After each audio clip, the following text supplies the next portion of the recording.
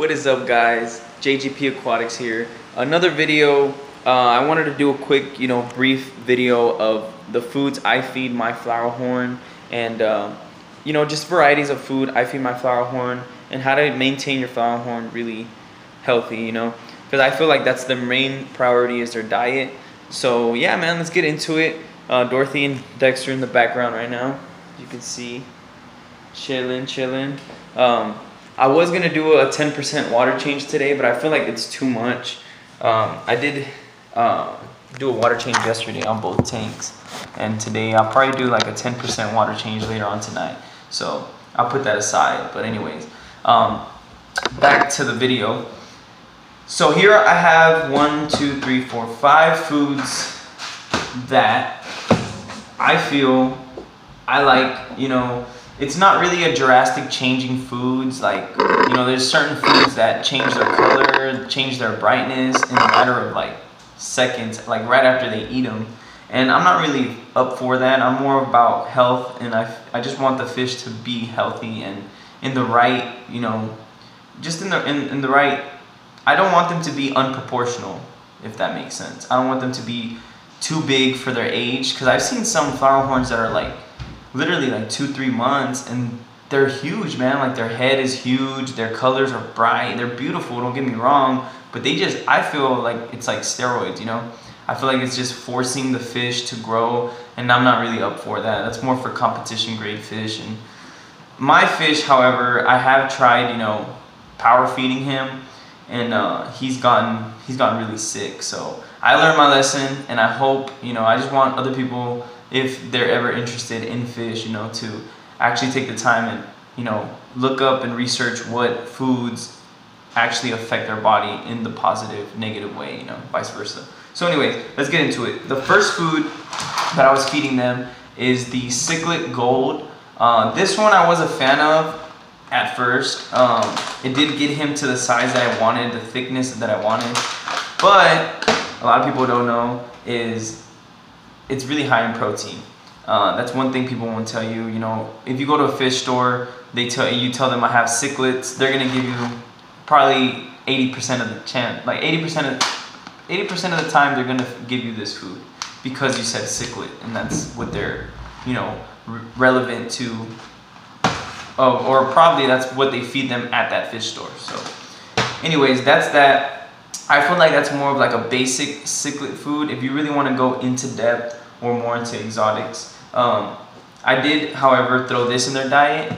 Is uh, dried shrimp, freeze dried shrimp. This is very good in protein, uh, rich in minerals. Uh, you know, it just you know it doesn't have bacteria or parasites, and it's all it's great for all amphibians. So I like this one. This one literally is like catnip. You give it to them, and they're just they just go crazy, man. They just want more, and they're swimming. It's crazy. Um, the shrimp I do recommend freeze-dried shrimp. And this one, however, I did pick up this one, Southern Delight. Um, it's a veggie tail. It's called veggie tail by Southern Delight. But this is especially for flower horns. I don't know if you can, you can probably see that. Big old flower horn right there.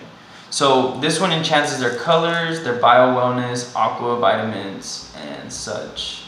Growth. This one is more big on growth. So when I, whenever I see him a little skinny, whenever I see them a little, you know, if I see them a little skinny, I give them probably one or two of these. These are pretty strong, so as soon as I give it to them, man, they poop it right out. It's kind of crazy, but the next one that I did pick up that I paid a lot for, I paid almost 40 bucks for this bag. It's a pretty big bag though, so if you compare it, it was kind of worth it. It's a big old bag, but they're really small pellets. But this one is enchances their uh, their red color, so it's for blood parrots. Um, this bl blood parrot is actually this fish right here. So it's not a flower horn, but um, flower horns are a type of blood parrot, you know.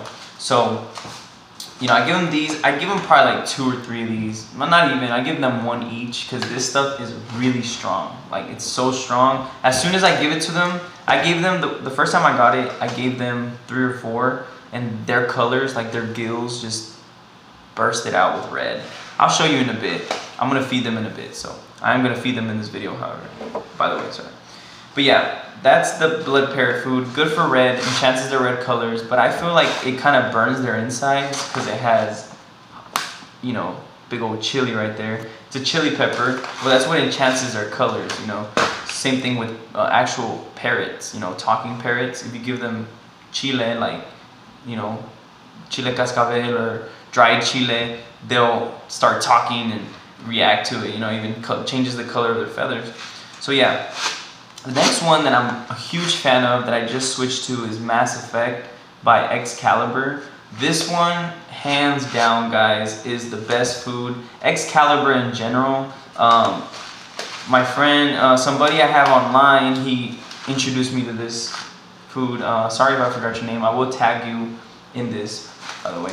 But yeah, this food, man, I, I, I can never go wrong. As soon as I gave it to them, you know, they they were acting normal. They didn't they didn't really they had then they didn't have a hard time chewing the food, and that's one big thing. Because I mean, if you see the, size of this palate, I mean, if you see the size of this palate compared to the size of this one, it's like damn, it's freaking huge.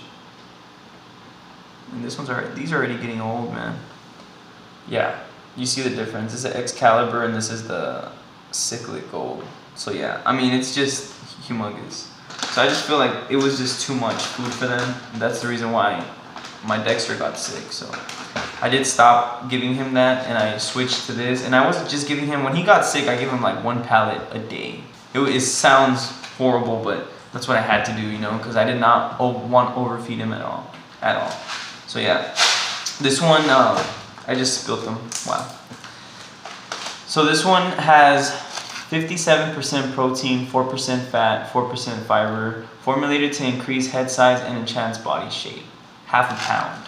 So yeah, I paid, mm, I would say, I think I paid like $22 for this one, like 20 bucks, 18 bucks, something or something, something around there.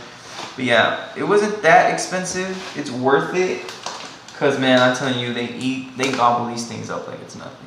So yeah, Let's go feed them actually. Uh, I do have them waiting because I had just gone off work and I was gonna feed them. So let's go do that. Uh, I'm gonna feed them, I'm gonna feed them some shrimp and the Excalibur. So yeah. Let's do this real quick. I'll show you how I feed them. These guys are pretty, pretty hungry right now. He's just attacking me, look at this.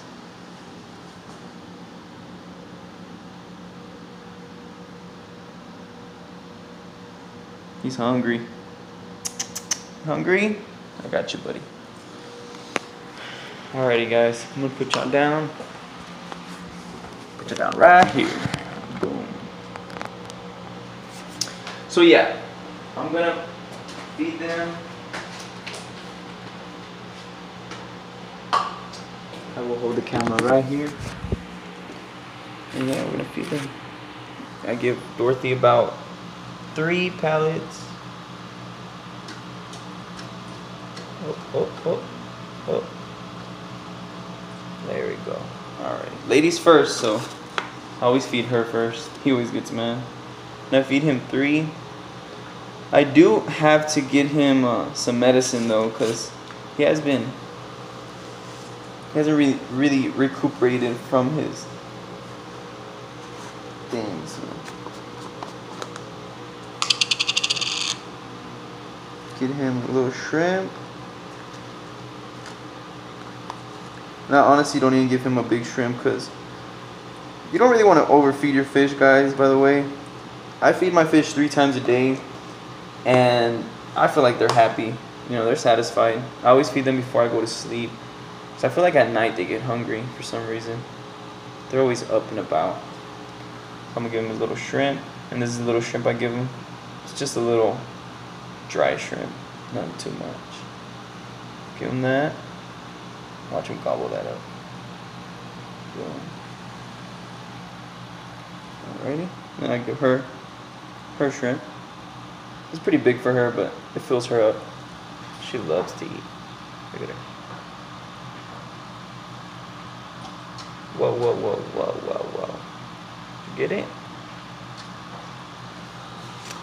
Uh, I think I got stuck, guys. oh no, she got it. Did she get it? That food always gets stuck right there. So yeah. So yeah, man, that's Dexter and Dorothy eating. Hungry little suckers. But yeah, guys, thank y'all guys for tuning in. You know, more videos up. I know I'm sorry about this quality, about me just grabbing the camera and dragging it everywhere. I am gonna, you know, do try to change it up. I have my camera. I just need to buy the equipment, and I have been doing it. It's all in good time, guys. So bear with me. I really hope y'all, you know, comment, rate, and subscribe. My videos are gonna be better. I promise. I promise, guys. Just bear with me. I just want y'all to stick, stick, stick with it. You know, just stick with it with me. And when my videos get better quality and good editing, you know, it's all, it's all uphill from there. So yeah. Thank y'all, guys. Dexter, Dorothy. I don't know if you want to say bye. Say bye, guys. Oh, they just want more food. Whatever. Alrighty, guys. Thank y'all. JGP Aquatics, we are out. Peace.